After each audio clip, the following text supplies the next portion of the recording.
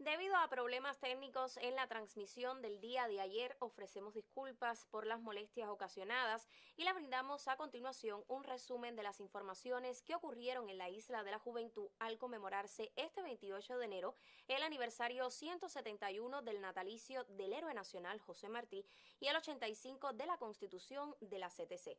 Las periodistas Julia García y Riquelma Pentón nos proponen los detalles.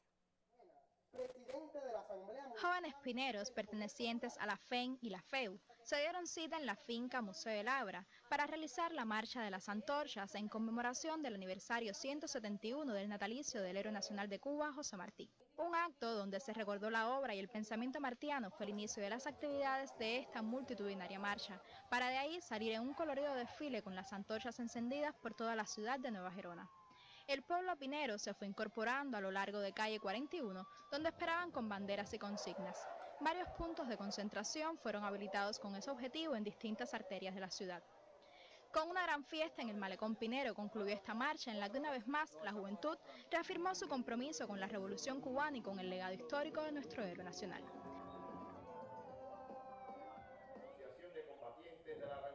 Con una ofrenda floral al héroe nacional de Cuba, José Martí, seguida de una peregrinación hasta el Parque 15 de Mayo, los trabajadores pineros celebraron el 85 aniversario de creación de la Central de Trabajadores de Cuba. En el acto estuvieron presentes autoridades del partido y el gobierno en la isla, las organizaciones políticas y de masas, así como representantes de todos los sindicatos. Fue reconocido el trabajo de 16 dirigentes sindicales pineros que con sus esfuerzos han logrado arraigar en sus colectivos laborales el amor por la organización. Fueron declarados 14 colectivos 85 aniversario por sus resultados en materia sindical. Algunos de ellos fueron ETEXA, Servicios Legales, Materias Primas, Electromedicina, CUPET y el SIGMA. Asimismo, el espacio fue propicio para que organizaciones como los CDR, la UJC y la Asociación de Combatientes de la Revolución Cubana entregaran reconocimientos a la CTC por su aniversario. Como colofón del acto, le fue otorgada la bandera 85 aniversario de la fundación de la Central de Trabajadores de Cuba al colectivo de la UEB Restaurante Labra. Unidad con resultados relevantes que han hecho posible que la misma se encuentre hoy como centro de referencia a nivel nacional.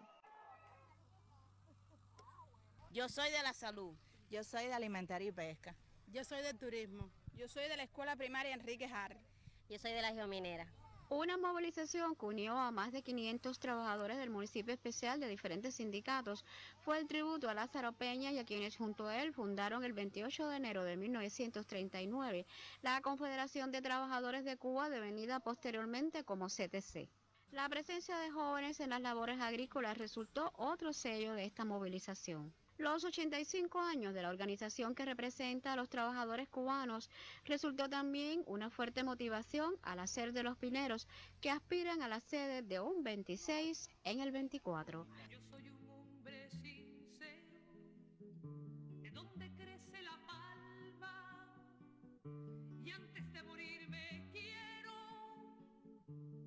este 28 de enero se cumplieron 171 años del natalicio del más universal de los cubanos, José Julián Martí Pérez. Ese día también llegaron a este mundo Charlie, Dylan y Rodrigo, tres niños pineros que el azar quiso que su cumpleaños estuviera unido por el destino a una fecha tan importante. Hasta el Hospital del Baire llegaron miembros de la Sociedad Cultural José Martí y la Unión de Historiadores para realizar una donación a los recién nacidos. Estos tres niños nacieron un día especial y crecerán para convertirse en hombres de bien, como hace tantos años lo fue el apóstol.